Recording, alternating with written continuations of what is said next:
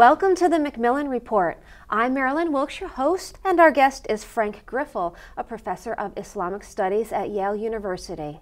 Professor Griffel teaches courses on the intellectual history of Islam, its theology, and the way Islamic thinkers react to Western modernity. He has published widely in the fields of Islamic theology, Arab and Islamic philosophy, Islamic law, and Muslim intellectual history. Today we'll talk with Professor Griffel about his new book, Al Ghazali's Philosophical Theology. Welcome, Professor Griffel. Glad to be here, Marilyn. So let's start um, with Al Ghazali. Who is he? And then give us an overview of your book. Al Ghazali is one of the most important theologians and overall thinkers in the Islamic world. He's also probably the one author of classical Islam who is most widely read today, and he was most widely read all through the centuries that he had lived. He uh, lived at the turn to the 12th century, mm-hmm. uh, which was in Europe just the end of the Dark Ages. Yet in the Islamic world, it was a time of very lively intellectual activity, both in the natural sciences, in philosophy, as well in theology. Okay. And what led you to write this book? What was your inspiration? Well, I've been fascinated with Al Ghazali for very many years. Mm-hmm and two reasons. First of all, his importance as an Islamic author, a Muslim theologian who really formulated to a large degree what was, at least for many centuries, regarded as Islamic orthodoxy. Mm-hmm. For me, it was very important at one point in my life to understand what Islam is, its intellectual history. And at one point, I decided understanding Al Ghazali helps me a lot in doing so. So it is his importance that triggered me. There was a second aspect that I was also very much interested in, which triggered mostly my interest in, in the book that I just wrote, and that was his position as one might say an angle point between what is the Aristotelian tradition in Islam, something that we call falsafa, philosophy in Islam, mm-hmm. and Islamic theology. He has often been regarded as the thinker who somewhat fought Islamic philosophy or philosophy, Arabic philosophy within Islam, and defeated it. And from the very moment I started reading him, I thought that this is not entirely right. And I digged after this, and the fruit of it is the book that I just wrote. Okay, and let's talk a little bit about how you did your research. What was your methodology? Well, when you do intellectual history, you basically read books. Mm-hmm. You go to the library, you check out books, you read them once, you read them twice, and very often you read passages 10 times before you really get what these passages mean. In this case of, of writing about Al Ghazali, I was surprised to what extent actually I also had to deal with manuscripts. Mm-hmm. Because we think that with such an important author, the manuscripts, which have, of course, preserved his works to us in the modern period, which were written in the Middle Ages and then later on, that they have now all been turned into printed books. But that was not the case. There was still a great number of texts in the case of Al Ghazali that still were only in manuscripts and not yet printed. And there was also the issue that many of the prints that we were dealing with weren't entirely reliable. Mm-hmm. So I actually worked a lot with manuscripts, particularly in European libraries, but also in libraries in the Middle East. Okay. And how does your research differ from the traditional views on Al Ghazali? I would say the position that I have taken with regard to Al Ghazali is somewhat a part of a larger re evaluation of the philosophical tradition in Islam. Mm-hmm. The classical view that was put forward uh, by uh, early our early great scholars in the field of Islamic scholar in Islamic studies, who worked mostly at the beginning of the 20th century, uh, and this view was then also shared by uh, Arab and Muslim thinkers. Uh, was that Islamic philosophy in Islam, Arabic philosophy, uh, which was pursued in Islam, was very lively and very active until a certain point in time when the culture somewhat has given up this activity. Mm-hmm. And uh, the prejudice was that, and, and in this case, an occupation more with religious literature, particular with the Quran, actually has replaced uh, the rationalist inquiry of the philosophers. By now, we think that this is only half of the story. Mm-hmm. It is true that there was a lively uh, thriving of philosophy, of the tradition of Greek philosophy within Islam, but it is also true that at one point this tradition was turned over, so to speak, from the philosophical discourse to the theological discourse. And my position is that Al Ghazali actually took a very important position in this turning of philosophy into what we call kalam literature, which is rationalist theological literature. The traditionalist view, however, is totally different by basically saying that Al Ghazali destroyed the tradition of falsafa. He, in fact, wrote a very important book which criticizes many teachings of the Arabic philosophers, most importantly amongst them the philosopher Ibn Sina, known in the West as Avicenna.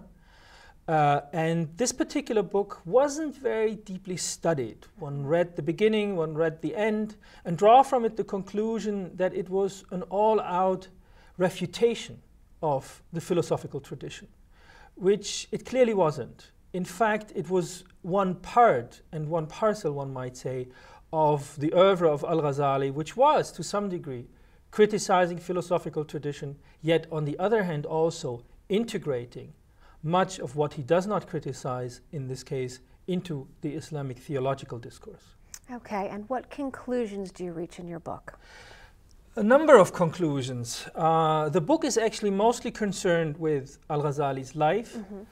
uh, also with Al Ghazali's students, and then I focus on what is his cosmology. Okay. Let me go through them one by one. Um, with his life, I was surprised to see how, how little serious work has been done in the past decades on his life, particular since two new important sources have come up. In this case, his letters, mm-hmm. uh, his Persian letters, which were edited in the 1950s and have not yet had much impact on the secondary literature about his life, despite the fact that they offer a huge amount of insight mm-hmm. about what he was doing, about particular how he felt what he was doing. Secondly, his students, um, one of the problems that st- scholars who were dealing with the life of Al Ghazali and his works were always confronted with is that his works are far from being unambiguous. Mm-hmm. Sometimes, in fact, he argues in favor of a certain position, yet in another book, he might actually take a position that is opposed to that. Hmm. And my strategy was to look in this case closely into how his students or his early followers write about him and write about his teachings to basically find out how did they think what he truly taught. Mm-hmm. and from there deduce in a matter of speaking how he communicated with his students. What he told his students are his in a matter of speaking true teachings and what are the one that he, he might have taken at one point in his life, or in this case, how he might in fact reconcile two positions that initially seem to be contradictory. Mm-hmm. And this is actually the main part of the book. This is uh, the third part on cosmology. Now, first, I should probably explain what cosmology is. Yes. Cosmology means uh, uh, uh, how the world, any theory that refers to how the world is constructed. In this particular case, we might talk about our cosmology, for instance, uh, that most of us uh, believe in the existence of a Big Bang. We are convinced, actually, that there was something like a Big Bang, and that from then on the universe spread. And from then on, we have, for instance, uh, the uh, uh, development of quarks, uh, of neutrinos, of atoms, of molecules. Out of molecules, we have bodies. Bodies react in a certain way uh, to causal laws, etc., uh, etc. Et this is what we call cosmology, how actually the universe is constructed. For medieval thinkers, this is closely, this subject is closely connected to how God responds or reacts, or in this case, acts upon his creation. The world is, of course, regarded as God's creation. And here is particular important how does God create? That is the interesting question there. And there has been developed a particular Islamic view, I might say, which we refer to as occasionalism, which by and large, and I make it short, simply teaches that God creates every object and every, in every moment anew. So we might talk, we might think about it as if God, as if this world would be like a film, where we have frame after frame after frame after frame, and each frame, in this case, each moment in itself is newly created. That is one view. And then there is the other view, which is, I would say, probably uh, uh, more uh, closer to our current understanding because it comes from the work of Aristotle, in particular, that there are causal laws that determine how things actually react to one another in this world, and that these causal laws, of course, are God's creation, and that matter and all these things are also God's creation, and that in a matter of speaking, God creates by means of these causal laws. So far, before I actually finished my book, one might say, or before I uh, came to the, to the main conclusion of my book, people in our field were divided in saying that Al Ghazali was either one who was totally in favor of the so called occasionalist view, mm-hmm. where God creates everything in every moment anew, or in favor of the view that God uses so called secondary causality. God employs causal chains of, mm-hmm. of effects and uh, of uh, causes and effects in order to achieve uh, the goals that he actually wants to achieve, in this case, aims to achieve. What I came to conclude is that Al Ghazali, in this case, held both views. Mm-hmm. He thought that these two views, although they seem to be contradictory, for him they were not. They would express the same kind of cosmology for him, it was most important to acknowledge that God is the creator of everything in this world. Mm-hmm. Be it either in the way that he creates everything in every moment anew, or be it in the, on the other hand as the starting point of all the causal chains that we actually do see unfolding in this world. Okay. And uh, lastly, what was the most surprising thing you found in doing research for your book? Well, two things, I think. Um, first of all, when I, uh, when I uh, looked into his life, in particular when I looked into his letters and uh, what he writes about his own life, I found out that he was actually born at a date different from what we currently have in all our dictionaries mm. and in hmm. all our encyclopedias about him. That, of course, is only a small matter. The other thing that uh, fascinated me is that Al Ghazali thought about sciences uh, in a very, very modern way. Mm-hmm. And that was certainly even a surprise to me, but it was probably more a surprise to other people who always thought that Al Ghazali was one of the people who had destroyed the sciences in Islam. Hmm. I think nothing is further from the truth. In fact, he is someone who supported the sciences, who wanted to find a cosmology that actually leads to, first of all, acknowledging God as the creator of the world, but also in, in helping scientists to pursue the sciences. So, in a nutshell, one might say he thought in his cosmology, of course, which did not have the Big Bang, but if we would translate his cosmology to the Big Bang as God as the creator of the Big Bang.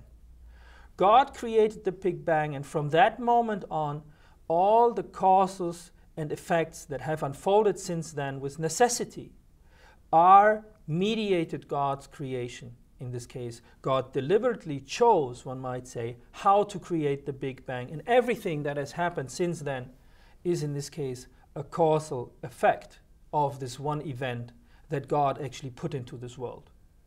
Which I thought was a very fitting way for a theologian to think about this universe.